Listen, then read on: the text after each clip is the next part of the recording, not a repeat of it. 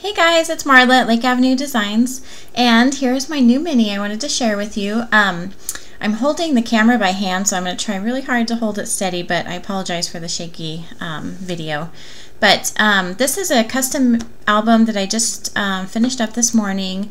Um, it's for a, um, a baby girl, actually. It's the person who ordered it wanted it for a baby shower but she didn't want something so um, babyish. So um, this was really fun for me to do. I could still make it girly, but um, it didn't have to be all um, baby themed um, per se. So the paper line I used was the um, Hollywood Vogue from Webster's Pages, which is one of my new favorites. Oh my goodness, I love it.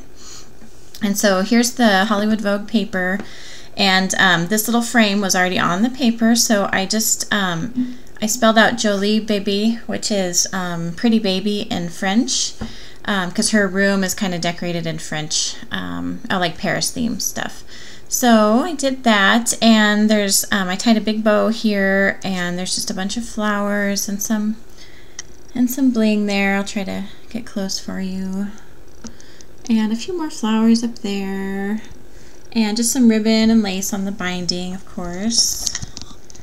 Okay. So I'll show you the first page here. Um, here's some of this trim that I think we all picked up at Michael's a while back when it was there.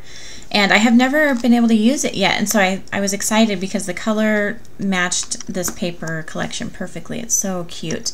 And even the black, it like ties in perfectly. Um, so I just made a simple photo mat. Um, I didn't want a bunch of tags and pockets in this album because this is for someone who's not a scrapbooker. So I just wanted it really simple for her to put her photos in. So I lined it with some um, baby roses. And these are actually from I Am Roses. And then this says Timeless Bliss Classic Story. Just um, the paper just said that. It's pretty cool.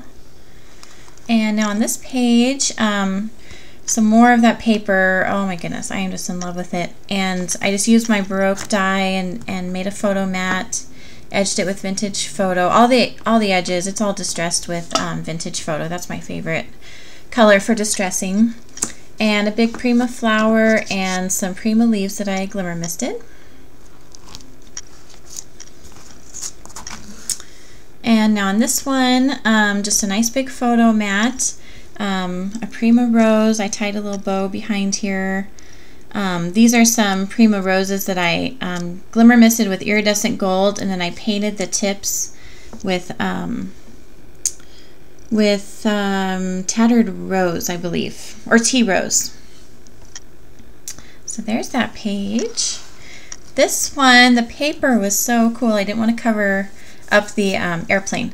So I left that um, just the way it was, and then I added this really pretty Prima um, flower, and then the bling, of course, and um, some Prima trim. So it's just real simple so that they can just add photos and not have to do too much to it.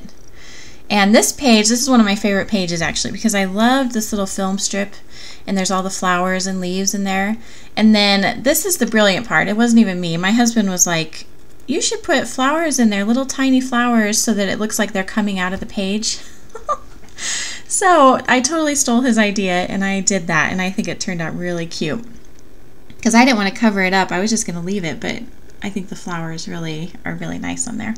And then this paper is part of the collection as well. It's so um, very vintage, very um, like 20s um, glamour girl. It's very cool. And this one um, just tied a big bow and it's pretty simple but very pretty. And this one, some more of that paper. And this is actually, um, I think it's Wizard of Oz. It's like from the play. And um, it's kind of cool. All the writing on there. And the flowers are so pretty. So here's another um, actually I don't think this is Prima. This is probably Recollections. And um, some Prima pearls. Excuse me. And this one this is the last page.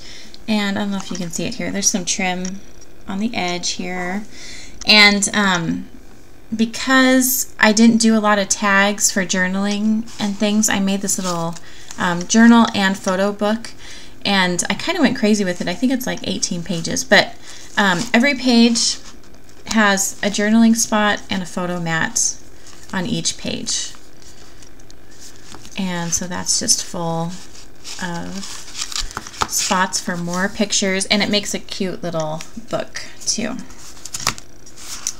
So there you go. I will have detailed pictures of this on, um, let's see, I think I'll put it on Facebook, um, which is Lake Avenue Designs, and um, I'll put the link below. And then I'll also um, put detailed pictures on my blog. So thank you all for stopping by. I really appreciate it, and I'll see you guys soon. Bye-bye.